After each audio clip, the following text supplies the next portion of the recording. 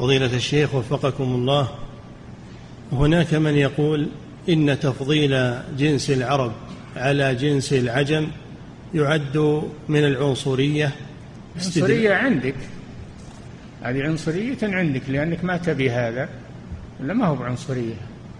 العرب أفضل جنس العرب أفضل من جنس العجم. نعم.